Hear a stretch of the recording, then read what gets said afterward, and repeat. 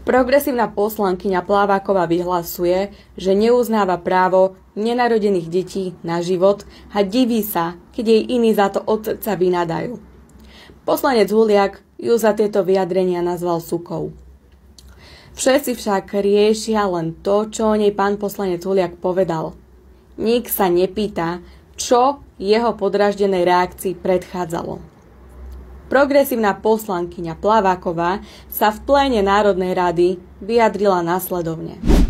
Plot nie je osobou, právne e, nie je subjektom práva a pre, preto nemá plot ani právo na život.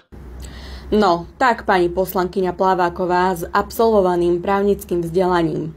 Človek skutočne nemusí byť právnik ani genius, aby vedel, že to, čo ste povedali, je v prvom rade vrcholne neľudské. Ale keď už to mám povedať jazykom, ktorému vraj rozumiete, tak už aj každý študent prvého ročníka práva vie, že ľudský plod, nazývaný podľa rímskeho práva aj ako nasciturus, teda ten, kto sa má narodiť, požíva podľa našich zákonov mnoho práv. Keď už spomínam starých Rímanov, tak dokonca aj tí si ľudský plod vážili natoľko, že ak sa napríklad dieťa narodilo žene, ktorá bola otrokyňou, bolo považované automaticky za slobodného rímskeho občana, pretože ho nechceli vyniť z riechov jeho matky. Rímsky právnik Paulus tvrdil, že kto je v lone matky, chráni sa tak, ako keby už bol na svete. Život plodu chráni aj základný zákon nášho štátu, Ústava Slovenskej republiky. V článku 15 pani Plaváková táto ústava hovorí Každý má právo na život. Ľudský život je hodný ochrany už pred narodením. Cítite ten rozdiel oproti vášmu vyjadreniu, že plod podľa vás nemá právo na život? Kto sa tu má vlastne a za čo komu ospravedlňovať? Občianský zákonník v paragrafe 7 hovorí – Spôsobilosť fyzickej osoby mať práva a povinnosti vzniká narodením. Túto spôsobilosť má aj počaté dieťa, ak sa narodí živé. To znamená, pani poslankyňa, že ak sa dieťa narodí živé, bude aj nasciturus disponovať právnou spôsobilosťou. Ide teda o podmienenú spôsobilosť. To dieťa, o ktorom vy hovoríte, že nemá právo na život, tak má napríklad aj právo dediť hoc je ešte iba ľudským plodom.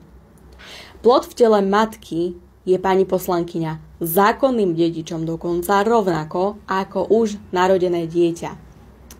A ja sa vôbec nedivím, že ste svojim vulgárnym vyjadrením rozohnili množstvo iných ľudí a medzi nimi aj pána poslanca Huliaka. Vaše nechutné vyjadrenie by som prirovnala až k rečiam podobným o holokauste. Boli to starí Spartania, ktorí nevyhovujúce choré deti hádzali zo skal a rovnako tak nimi sa inšpirovali fašisti pod vedením Hitlera, keď im nejaké deti nevyhovovali a nedávali im právo na život. Ešte raz, pani poslankyňa, aj ľudský, aj ľudský plod požíva ochranu života našimi zákonmi. Od okamihu počatia je považovaný za plnohodnotný subjekt práva za predpokladu, že sa narodí živý. A vy, ak ste vraj aj niekedy študovali na právnickej fakulte, tak o tom vašom vzdelaní silne pochybujem. Nie je to ešte o vás ako o žene, nositeľke života.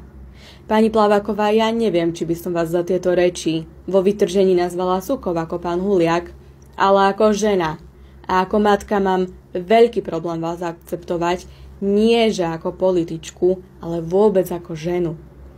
Od rána do večera máte plné ústa ochrany práv 72 pohlaví. Na notebook si statočne nalepíte kadejaké reklamy na duhovú propagandu. Hle, počaté deti vo vašom ponímaní nemajú pre vás ani len právo na život. Vyjadrenia, aké ste použili, že nenarodené deti nemajú právo na život, nás zas a znova presviečajú o tom, že progresívna ideológia v podobe, akej ju prezentujete, nemá vôbec ďaleko od samotného fašizmu.